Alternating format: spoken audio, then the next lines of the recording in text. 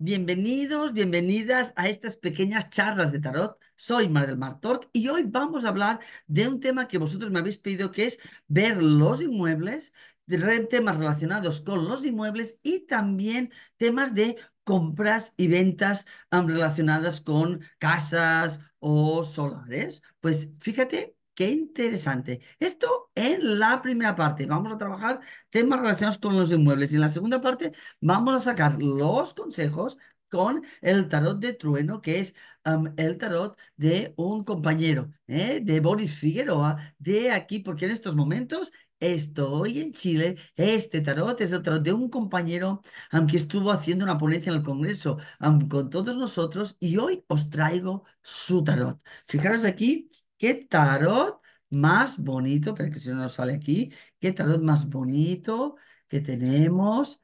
Sí, está dibujado por su pareja. Sí, mira aquí. Entonces, con este tarot, sí, que todavía casi no he tenido tiempo de, de estudiármelo, pero que seguro que vamos a fluir, con el cual sacaremos los consejos para la semana. Como ya sabéis, diréis, uy, Mar del Mar, ¿qué haces a estas horas? Eh? Los que estáis aquí por Instagram. Es que hoy tomo otro vuelo. Ha estado, ya sabéis aquí que he estado unos días en, en Chile, pero ya me voy, voy a tener que irme al aeropuerto para ir hacia Uruguay y coincidía con la hora del directo. Entonces, los que estáis en YouTube, yo lo he podido dejar grabado, pero en Instagram no. Y mientras estaba grabando el directo para YouTube, he pensado, pues ya aprovecha Mare del Mar y haz ya el directo en Instagram. Por lo tanto, es este el motivo por el cual me he adelantado un poquito, un poquito al directo de hoy. En estos momentos sabéis que estoy en Chile. Buenos días a todos los que estáis por esta zona y buenas tardes a los que estáis en España. Quería también, de alguna manera, primero, agradecer y felicitar a la organización de este Congreso de Chile. Ha sido fantástico, ha sido espectacular. Más de 200, bueno, casi 200 personas hemos estado en este Congreso. La energía ha sido impresionante, todo lo que se ha movido, los compañeros, las conferencias. He aprendido un montón de cosas para poder después practicar, tengo unos libros nuevos para poder leer, investigar, algunos mazos maravillosos de estos tesoros que siempre traigo desde, desde cada país y ahora ya que ya me iré, me voy feliz y satisfecha de este viaje a Chile. Besos a todos aquellos que me habéis acompañado en las masterclass, en el congreso, en las actividades. Gracias, gracias, gracias. Entonces, Ahora me voy para, para Uruguay, ya sabéis, los que seáis de Uruguay.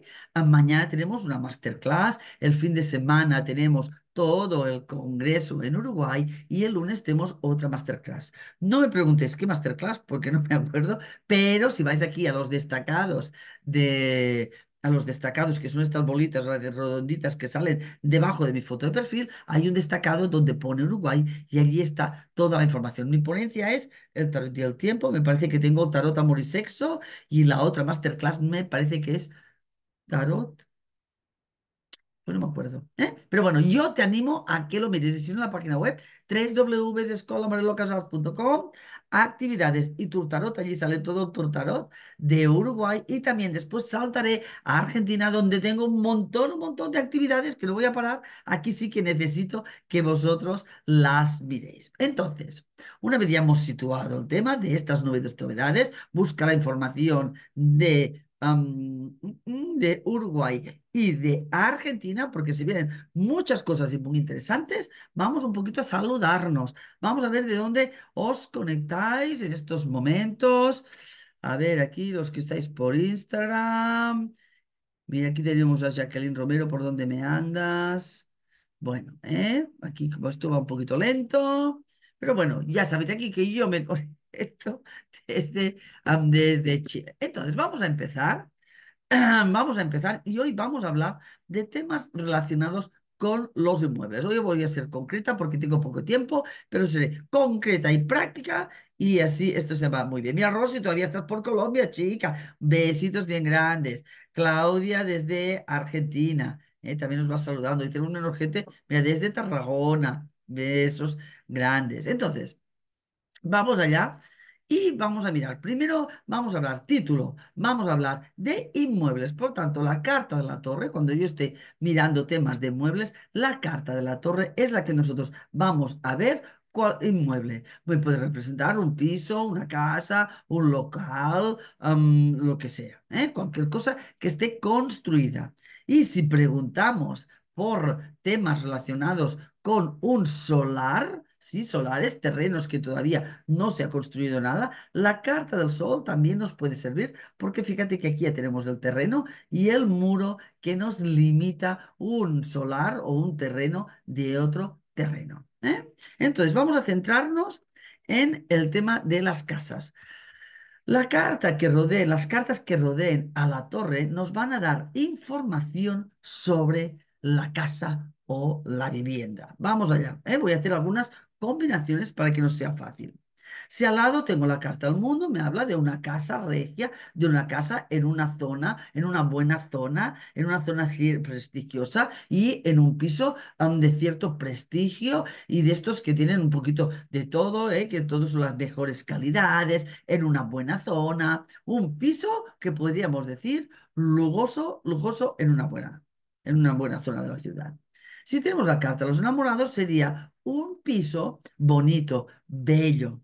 Pero recordemos que los enamorados también tienen esta parte que nos hablan de esta dualidad. Por lo tanto, si alguien quiere comprar un piso y me está preguntando, además de que puede ser un piso bonito, esta carta nos podría indicar que nuestra consultante está entre dos pisos. Tiene que elegir. Puede tener más de uno o puede tener que elegir o puede ser que quiera comprar o pueda comprar dos pisos.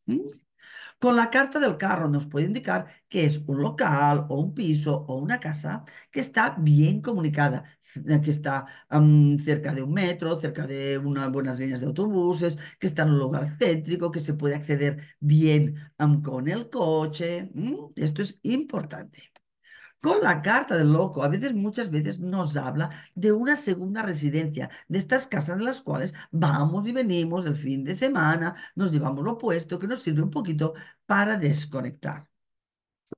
Con la carta del ermitaño nos hablaría de que es una casa más bien viejita, que no es una casa nueva, que es una casa pues que ya tiene tiempo y que igual va a requerir de ciertas, de poner una cierta una puesta a punto. Con la carta de la estrella es una casa que tiene muchas posibilidades. Igual no es una casa muy grande, igual no es una casa muy lujosa, pero que con cuatro arreglitos puede ser una casa que sea bien, bien acogedora. Con la carta del sol al lado puede ser una casa con terreno o también puede ser una casa luminosa.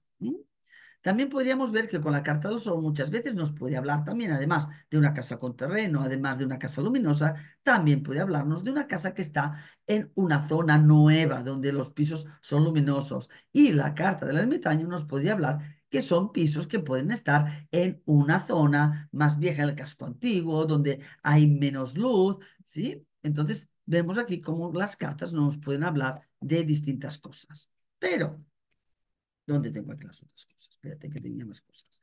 Si al lado de la torre nosotros tenemos la carta de la luna, esto nos estaría indicando que esta casa tiene, puede tener humedades. Vamos a tener que vigilar temas relacionados con las aguas. Muchas veces, ¿no? Cuando mi cliente, ay, me he visto un piso que me gusta mucho y te sale la luna y dices, oye, pues fíjate en esto, porque cuando te van a vender los pisos, igual hace tiempo que no vive nadie allí y el agua no tiene acceso. Entonces, cuando tú ya te vas a vivir allí, abres todas las aguas, empiezan a salirte humedades por la pared. Por tanto, la carta de la luna es importante que la tengamos en cuenta.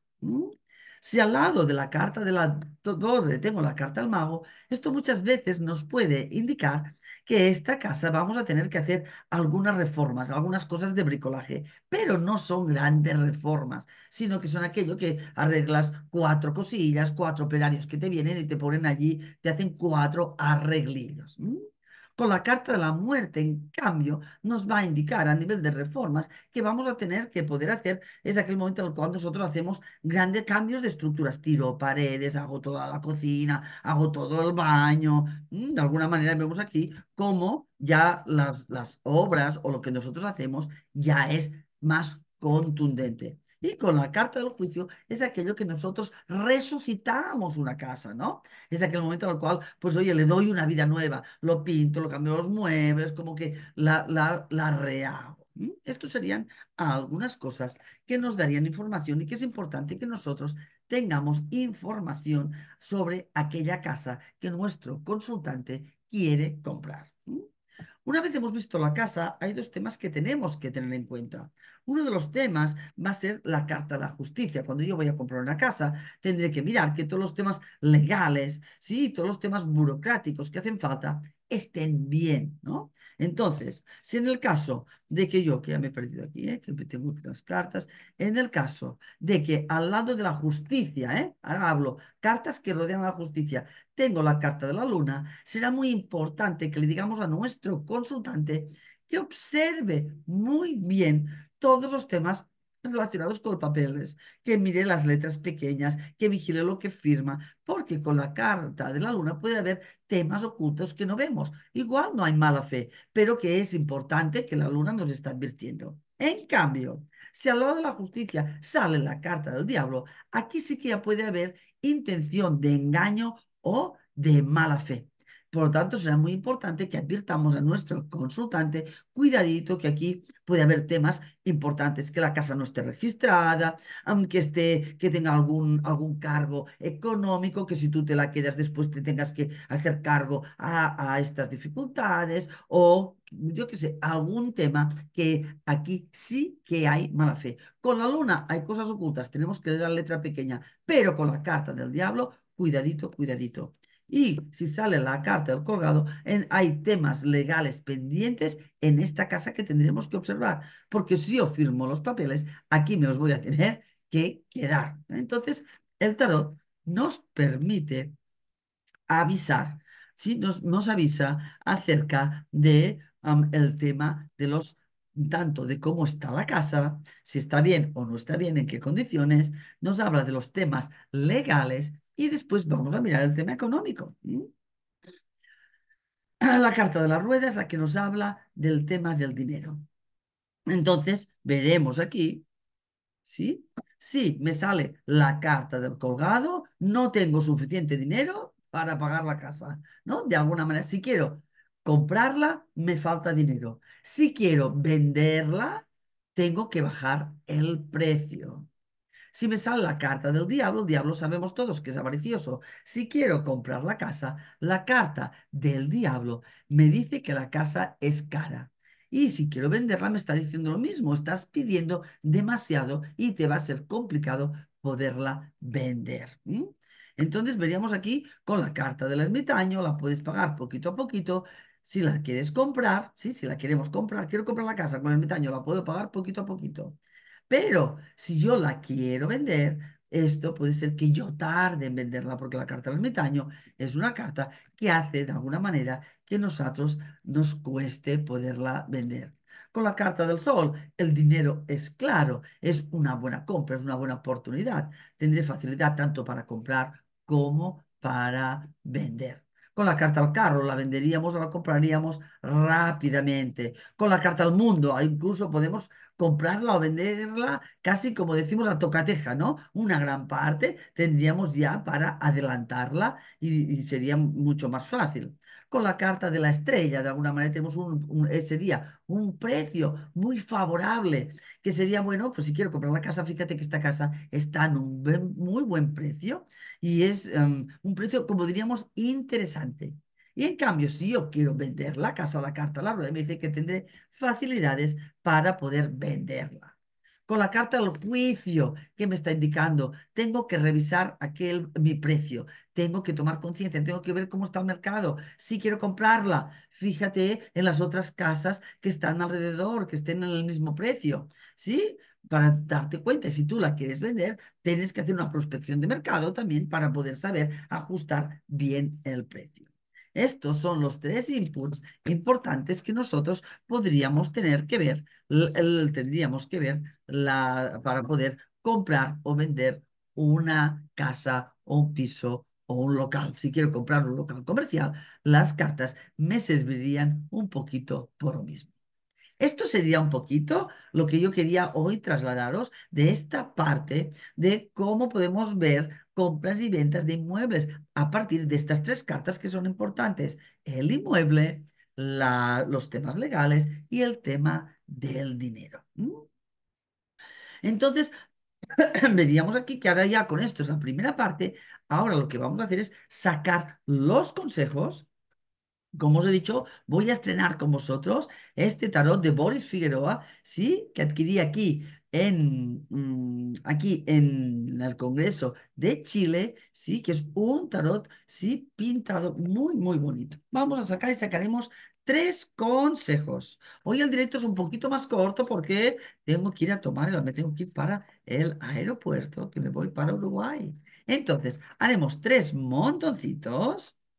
Haremos tres montoncitos y vamos a ver qué, consejos nos dan el tarot para esta semana. Hago un montoncito, otro montoncito y vamos allá.